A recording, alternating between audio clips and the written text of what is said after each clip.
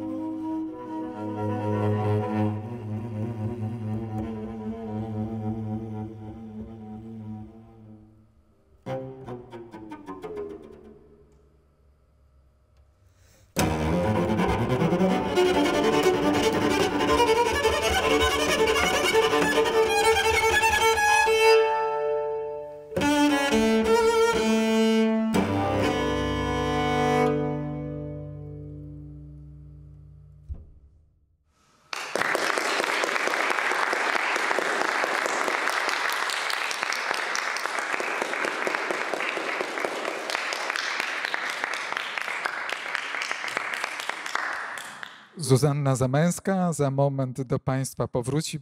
Proszę pozwolić teraz kilka zdań na temat e, sonaty Ligettiego, której wysłuchali Państwo przed chwilą. To w zasadzie historia jednej miłości, później zakazu, a później wielkiego sukcesu na zakończenie. Pierwsza część tejże sonaty, Dialogo, została napisana przez bardzo młodego jeszcze Ligettiego w czasach, kiedy był studentem Akademii Muzycznej e, w Budapeszcie i ofiarowana mm, koleżance, w której był potajemnie zakochany. Ponieważ koleżanka najwyraźniej nie doceniła tego daru, nigdy nie wykonała utworu, w związku z tym pominę jej nazwisko. Wymienię natomiast nazwisko kolejnej wiolonczelistki, którą Ligeti spotkał wiele lat później, Werę Dinesz, która to zwróciła się do kompozytora z prośbą o właśnie mm, napisanie utworu specjalnie dla niej. Wówczas to Ligeti zaproponował, aby do istniejącego już dialogo dopisać drugą część, Capriccio, i tak właśnie powstała ta króciutka sonata, której Państwo wysłuchali przed chwilą. Co istotne, w tamtych czasach, aby utwór mógł być publikowany i wykonywany publicznie na Węgrzech, musiałby być przedstawiony specjalnej komisji, która opiniowała tenże. No i komisja zaopiniowała tenże w ten sposób, iż zabroniono jego publikacji oraz publicznego wykonania ze względu na zbyt nowoczesną część drugą. Jak widzą Państwo, dziś tego słucha się już e, z wielką przyjemnością i wcale ten utwór nie wydaje nam się zbyt nowoczesny. Dlaczego mówiłem Państwu, że e, finalnie wielki sukces. E, zakaz oczywiście cofnięto, choć po wielu, wielu latach, dopiero, dopiero w latach 90. Natomiast w 2005 roku to właśnie ta sonata stała się utworem kwalifikacyjnym do konkursu wiolonczelowego imienia Rostropowicza w Paryżu. Także finalnie wielki sukces tego utworu Ligettiego, którego Państwo wysłuchali dziś w wirtuozowskim wykonaniu Zuzanny Zamęskiej. A za moment przy fortepianie, który stoi tutaj nie tylko e, ze względu na to, aby tworzyć dekorację tej sceny, zasiądzie kolejny gość dzisiejszego wieczoru, Mateusz Maciołek, którego znają Państwo zapewne już z koncertów tutaj w sali koncertowej e, Kapeli Gedanensis. Jest studentem Gdańskiej Akademii Muzycznej w klasie fortepianu, ale także w klasie kameralistyki. I także w dwóch rolach tu już dla nas występował, zarówno jako pianista, jak i kameralista.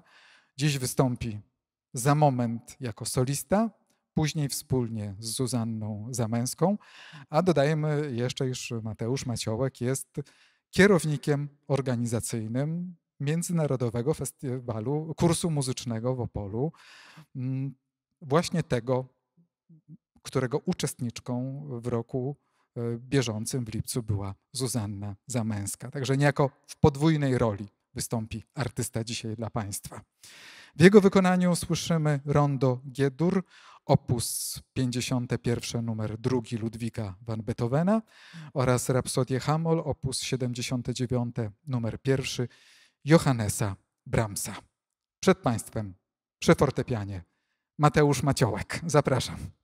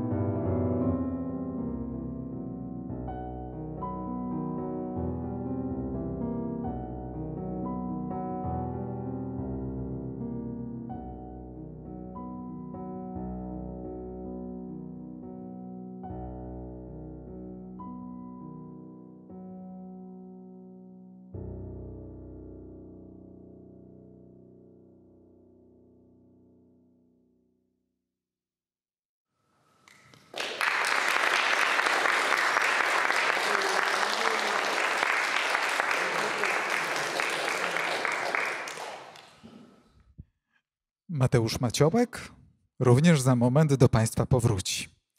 A na zakończenie naszego dzisiejszego wieczornego spotkania dwa utwory, które obydwoje goście wykonają w duecie.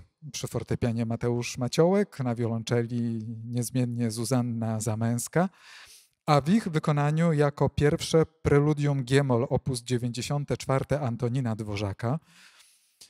Utwór, który został skomponowany specjalnie w związku z tournée, które Dworzak odbywał w 1894 roku po Czechach i Morawach. W trakcie tego tournée wykonywane były tria fortepianowe Dworzaka. Towarzyszyli mu skrzypek Ferdynand Lachner i wiolonczelista Hanusz Wichan.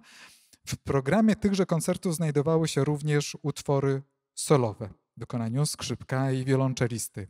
I to właśnie na potrzeby tego tournée i to właśnie, aby zaprezentować umiejętności, możliwości Hanusza Wichana, powstało to rondo, które usłyszą Państwo za moment. Utwór typowo wirtuozowski, kolejny niezwykle trudny utwór, który wybrała na dzisiaj Zuzanna Zamęska.